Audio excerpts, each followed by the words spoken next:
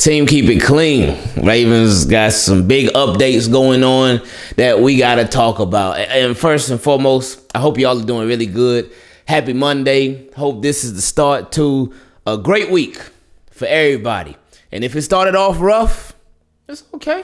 It's only the beginning. Like it's only 11:41 a.m. Well, by the time you see this video, because my internet be kind of slow, it might be like 12 something. But you get the point. Just because it, it, it's, it ain't about how you start, it's how you finish. So finish it strong. Anyway, um, the small stuff first. Uh, yesterday or the day before yesterday, the Ravens had a couple of trials at cornerback, and John Harbaugh did say, "Hey, we we got to have some more cornerbacks because we need more depth and whatnot."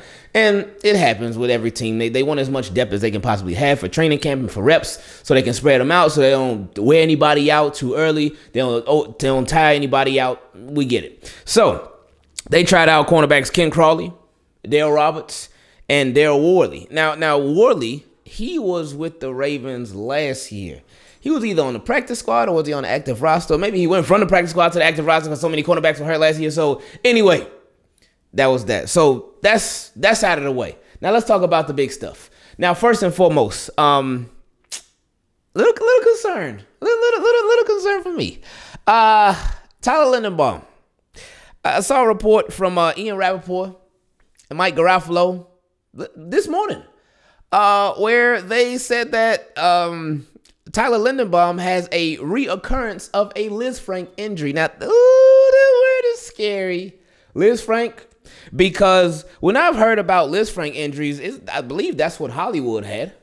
Um, I, I believe that's Jimmy Smith. He had one in his career too. Um, but it, it feels like it, it seems like it's, it's something that can kind of like linger if not taken care of. Now, they did say it's a sprain and not a tear, not a rupture. So if he can manage to play through it, then cool. But see, that part, that scares me too. Now, I ain't no doctor. I am not a doctor, not a healthcare professional anything like that. Shout out to those of you who are, so y'all will understand this a little bit more. But just that that scares me. That scares me because to me, if he has a Lisfranc injury, um, that sounds like something that may need sur- surgery to fully uh, heal, to be fully repaired. And if he's not going to get it, then he could possibly go into the season still dealing with that injury. And if it's not fully healed, then there's a chance that it could get worse. And I'm just I'm not trying to scare anybody, but I'm just thinking about it realistically. Like, what could possibly happen? Is it just strictly a pain management thing with no other risk involved? Or is it deeper than that? And I'm, I'm thinking it's deeper than that, but hey, if anybody's a healthcare expert, feel free to clear it up. But that that that does worry me. Um, be, uh, yeah, that that that's that's scary to me. But hey, maybe I'm misinterpreting the whole thing. Hopefully that's what it is.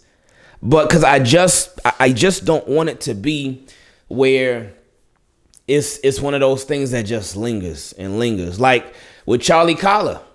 With him, um, Harbaugh said that he had the uh, the little sports hernia injury, and they said that he played through it a lot in college, and he was hopeful to play through it in the NFL, but just couldn't do it. Couldn't do it. So he got the surgery. So now he's been out. Um, so now that forced him to miss some time. And see, I just I, I don't know, man. I, I don't know exactly how all the process is. I know when before the draft you do a bunch of uh, fact checking and you check their medical records and whatnot. Um, so I just wonder, like, after they drafted him and signing him and whatnot, and, and same with Tyler Linderbaum, really with everybody.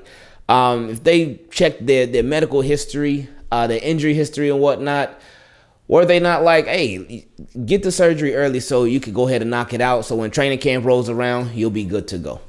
That, like, I would think that. But again, like I said, I don't know all the background of how that process goes. Um, but I'm a little concerned about it. But I get, we just got to wait and see. We got to wait and see. Harbaugh said one to two weeks for Tyler Linderbaum to return. Um, so I would lean more toward two weeks. I would lean more that way. Because uh, if Harbaugh gives you a time frame for somebody returning from injury, just add a little bit extra to it. If Harbaugh say one or two weeks, add, add another week just for your own mental health. That that's what I would do. That's what I'm doing. Um, but we, will see what happens. Uh, hoping for the best for Tyler Linderbaum, and whew, that that is a bit worrisome though. Um, anyway, um, on to uh, possible really good news for today. Um, two two guys. One, Steven Means. Uh, we'll see what happens with him. Maybe we get some clarification on what's going to go down with him. Um, because they said he left practice the other day and then didn't practice the next day, and so we don't know what's going on with Steven Means. Um, his status is up in the air. Uh, I would expect the Ravens to sign uh, outside linebacker help, edge help, like this week. Um, and really, yeah, any day now, really uh, because it's just thin there. You lost Vince Biegel. Steven Means, we'll see what happens with him. You still don't have Tyus Bowser back. So it's like, ooh, okay, ooh, getting a little chilly out there, but let's see.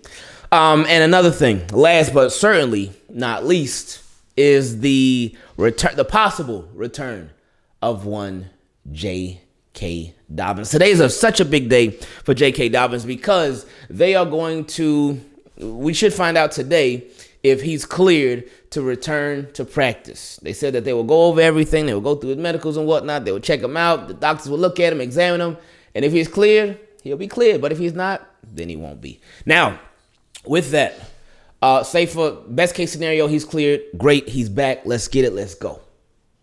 But worst, worst case scenario, he's not cleared yet. That's fine too. That's fine.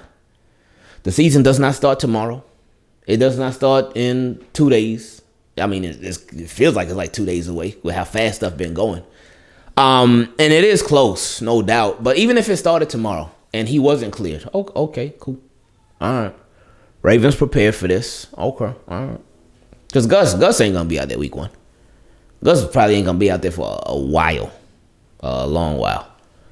Um, but if J.K. wasn't out there, yeah, we would much rather him out there. If if week one would start tomorrow, but if he was, it's a long season.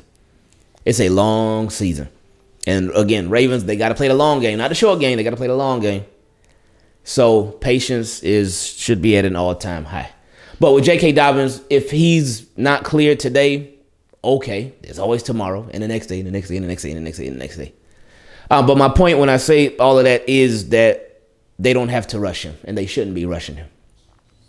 But hopefully, uh, if he does get cleared, that will mean he's completely healthy. He's 100% ready to go and he's fully healed. And it's like, all right, awesome. Great job. JK is back.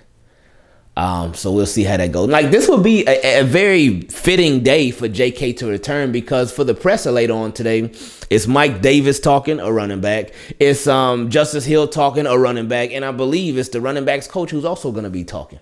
So this would be like the perfect day to make the big announcement. Oh, JK has returned. So hopefully that's what goes down. And J.K. Dobbins can no longer say that he is out.